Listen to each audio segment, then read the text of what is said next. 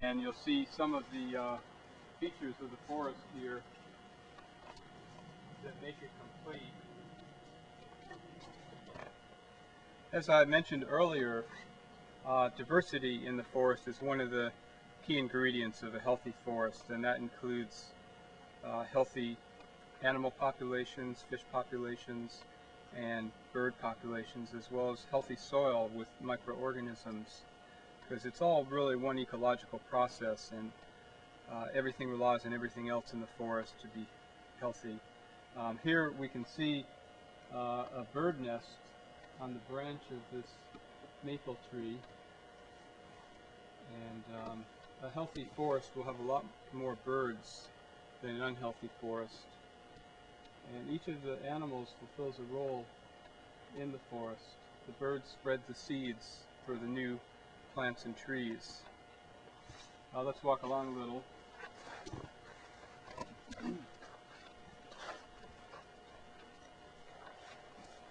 There's several kinds of berries in the forest. This is a huckleberry bush here. You can see one little pink berry still left on the bush. Uh, that feeds wildlife, which in turn add nutrients through their waste to the forest floor. We can also see that in this forestry operation they've left some down woody matter. Here's a, a piece of wood that's slowly deteriorating and becoming part of the soil which will feed the trees that come later and these other small bushes. There are many small animals as well that live on the forest floor and inhabit nooks and crannies in logs like that and larger logs. Uh, those people who are still supporting the outmoded practice of clear cutting often tell us that young trees will not live in, in a selectively harvested forest here in western Oregon. Uh, we can see that isn't true. Here's a couple small trees doing just fine coming up in between the larger trees that have been left here in the woods. We can also see the, the light coming through. And if you look up at the tops of the trees, you'll see that there is a spacing between the trees to allow the branches and leaves of those trees to receive enough light to thrive higher up. Uh, by selectively thinning the forest, it allows those trees to branch out even more and to uh, grow even faster. And uh, they call that releasing the tree when it's thinned in that manner.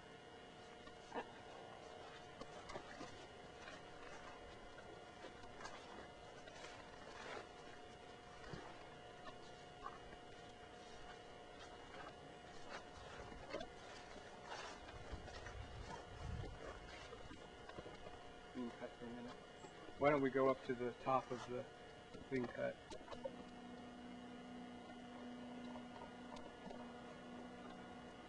We're at the boundary of Gil Harrison's property and uh, the Kinty's property here next door. Uh, Gil has his 20 acres selectively cut. You can see it's a beautiful forest. He's getting lots of wood products outed by periodic thinning of the forest. Over here on Bob Kinty's side, they clear cut this whole 10 acre strip. Um, the only advantage is we can see the hillside more clearly. But aside from that, uh, we're not going to be able to get any kind of wood products out of this land for at least another 50 or 60 years. Um, you can see it's part of it's been replanted with some small fir trees, mostly a monoculture tree plantation is what it looks like they're trying for.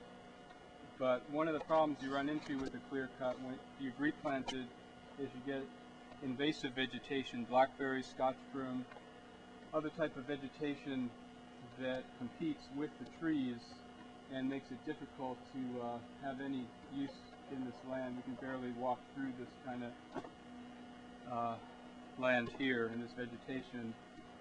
Um, what it also does is it results in land users and landowners resorting to poisonous chemical sprays for herbicides to get rid of some of this competing vegetation which further destroys the soil content Um, what I'd like to do is take a look at a comparison of what the ground of the forest looks like here. You can see the, the native mosses. That's salal, which is a berry producing shrub. And uh, there's a few mushrooms scattered through the forest here. You can see the white snowberries and all the ferns. And uh, in addition to being more passable for humans and wildlife to walk through, um, this is healthier for growing trees because the soil has not been burned from slash burning or poisoned by chemical pesticides and herbicides.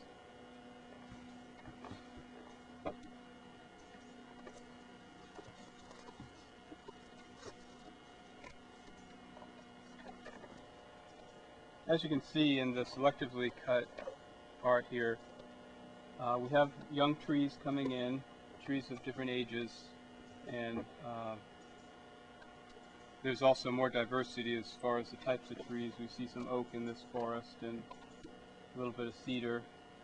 Um, with the ecological forestry, we don't need to replant hardly at all because the trees that are standing drop seeds that become the new trees. You can see some small trees right at the base of this tree here. This area over here where we they had clear cut about 10 years ago, they had to spend much time and money replanting the new trees because there were no seed trees to drop the seeds for the new stock.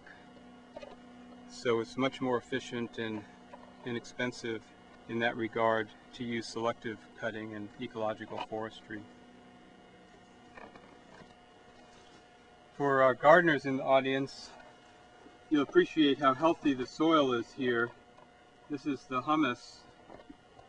You know, there are many microscopic organisms in here that are breaking down the soil and making it more easy for the trees to absorb the minerals. But uh, if you go into a clear cut, you're going to look at a bunch of mud because a lot of the soil's been compressed and a lot of the uh, microorganisms have been burned through the slash burning. But this is real healthy soil from the decaying wood, woody matter.